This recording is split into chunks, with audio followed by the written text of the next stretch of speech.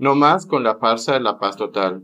Un país que anhela la paz debería alejarse de cualquier parodia, cualquier mistificación, cualquier intento de engaño en el camino de conseguir ese anhelo. Seamos claros, la única opción real de conseguir una verdadera paz en Colombia es abandonar esa farsa de la paz total de Petro.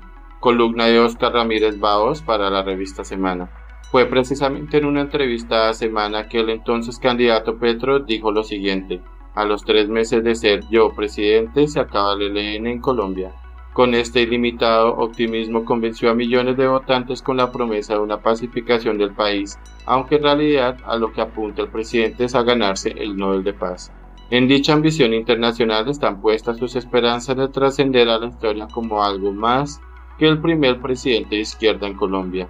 Con esto nadie tendría problema, de no ser porque está costando vidas colombianas. Me explico. Por sostener la ficción internacional de un país en camino a lograr una paz total, Petro ha inmovilizado a la fuerza pública y la ha dejado en defensa ante la embestida de los distintos grupos delincuenciales que operan en Colombia. Prueba de lo anterior es la ausencia total de acciones ofensivas por parte de la Fuerza Aérea o la Armada, sin mencionar los incontables atentados y asesinatos de soldados y policías que en el país ha tenido que llorar en los últimos meses. Ya lo dijo el gobernador del Tolima esta semana, es un secreto a voces que la fuerza pública tiene órdenes de no tocar a la guerrilla. Pero no son solo los soldados y policías quienes están indefensos ante la ofensiva guerrillera, el país se horrorizó con la noticia de que las FARC masacraron a cuatro niños indígenas en el Putumayo que habían huido del reclutamiento forzado. Pocos días después, la Defensoría del Pueblo denunció que los niños del Amazonas se están suicidando para evitar ese mismo reclutamiento de la guerrilla. Y la respuesta de Petro ante la oleada de indignación nacional fue sacar un comunicado a regañadientes donde anunciaba la suspensión del cese al fuego bilateral, pero solo en algunas zonas del país.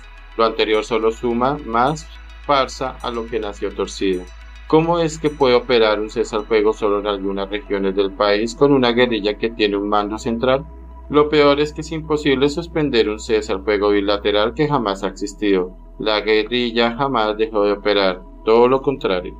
El fortalecimiento de las FARC ha llegado al punto que empezaron a ocupar territorios que habían perdido a inicios de este siglo, como el páramo de Sumapaz, también volvieron las pescas milagrosas, el secuestro con fines extorsivos y todo indica que esta es la primera vez en 20 años que nuestra fuerza pública pierde la iniciativa. El sentido común dictaría que lo que debe hacer un presidente y su ministro de defensa ante tal perspectiva es levantar el cese al fuego y golpear con contundencia a la guerrilla, de forma que su posición en las supuestas mesas de diálogo se oriente más hacia la paz que hacia un fortalecimiento militar pero esperar que Petro haga eso es soñar con inocencia. El presidente, fiel a su historia personal, no ha hecho más que rogarle a la FARC y el ELN que se avance en unos diálogos sin importar el costo de vida de soldados y policías. La prioridad es firmar un acuerdo de paz y para lograrlo Petro ha llegado a ofrecer el departamento de Nariño, por ejemplo, para que el ELN tenga su propia zona de distensión. Pero volviendo al inicio de esta columna, lo cierto es que Petro no se esperaba la fluidez del ELN en estos nueve meses, por cercanía ideológica, por afinidad personal o quizás por fe en su propio destino, el presidente esperaba que esta guerrilla no fuera un hueso tan duro de roer.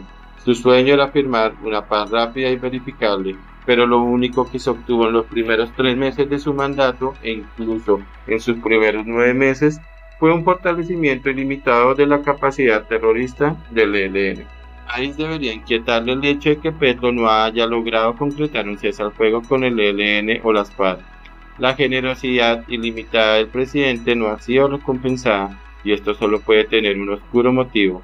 Estas guerrillas, como es evidente, no buscan la paz, pues persiguen unas rentas criminales devenidas del narcotráfico y la minería ilegal, la extorsión y el secuestro pero sigue existiendo algo extraño que hace que las guerrillas combatan el primer gobierno de izquierda de la historia, pese a que éste ruega de manera desesperada y hasta ridícula que no lo hagan.